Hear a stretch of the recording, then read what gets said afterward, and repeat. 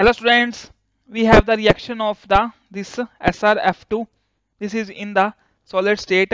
This will be equilibrium with the SR2 plus